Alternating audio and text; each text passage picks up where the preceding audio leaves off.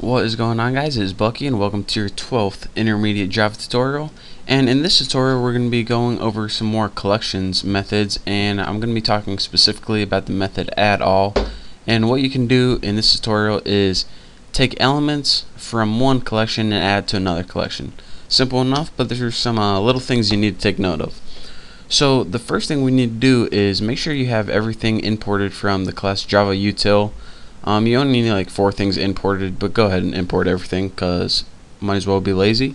And the first thing we need to do is create an, an array and it's going to hold string data and you can pretty much put anything in it. So go ahead and put, um, let's add a little comment.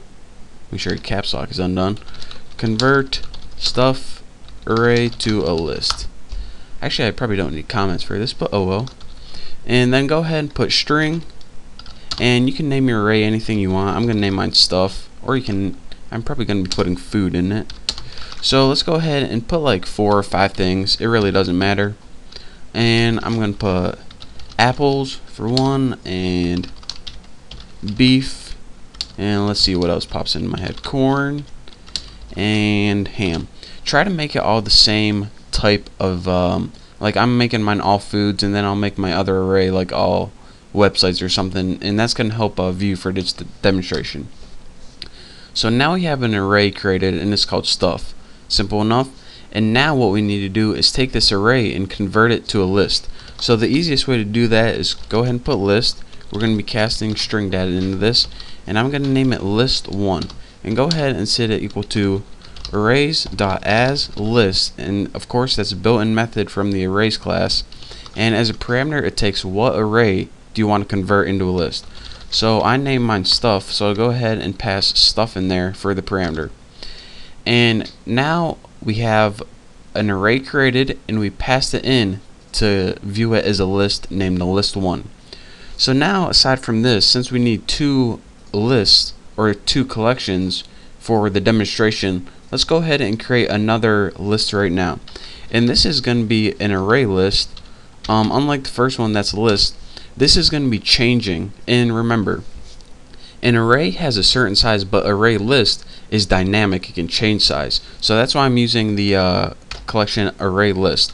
And go ahead and we're going to be putting string data into it and might as well name it list2 for simplicity and set this equal to new array list and we need to put string in with empty parameters. And what we did now is we pretty much created another list an array list but it has nothing in it right now. So in order to add elements to an array list, go ahead and type the name of the list, and mine is a list2, and then put add, and then as your argument, you just put what you want to add to the list. So I said website, so let me put YouTube, and go ahead and just copy this. I don't feel like typing it again. Copy, and we'll add like three things to this.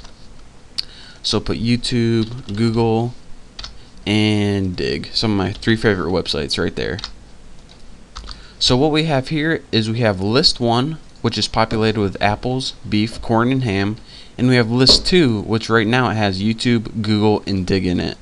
So what we want to do is first of all let's just go ahead and print out list 2. So we'll make an enhanced for loop and put string x list 2 and we'll go ahead and test this out just to see if it prints out first. So system out we'll do print format since it's the easiest way and for argument 0 just go ahead and put like um, percent %s and then go ahead and pass x into here and let's go ahead and see if this program works first. Run it okay. So right now it prints out list 2 and this is the list we're going to be changing. YouTube Google Digg. So everything's going good so far.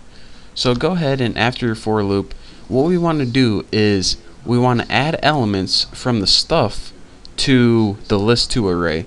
So go ahead and put collections dot add all and as your parameter um, go ahead and put list2 and also stuff. And what this does right here is it takes all the elements from stuff and adds it to list2 so let's go ahead and we'll print out a blank line. System out print line and also copy this. So what we're going to be doing is we printed out list2 and then we're going to be adding all the stuff in stuff to list 2 and just go ahead and print out a blank line and print it out again. So let's go ahead and run this and see how it worked. As you see an original our original list was YouTube Google and Digg.